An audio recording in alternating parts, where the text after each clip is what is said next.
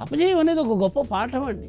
ఒక పునాది రాయి నేర్చుకోవాల్సినటువంటి ఎన్నో అంశాలకి అది ప్రోదిగా నిలబడుతుంది మనిషికి నిజమైనటువంటి ఆలంబన ఖచ్చితంగా లక్ష్యాన్ని నిర్ణయించుకోవటం కాదు దాని తాలూకా ప్రయత్నాలు చేయటం. ముఖ్యంగా ఈ పాఠశాలల్లో కూడా ఖచ్చితంగా ఈ అపజయం తాలూకా భయాల్ని పిల్లల్లో పోగొట్టేటువంటి ప్రయత్నాలు ఖచ్చితంగా జరగాలి.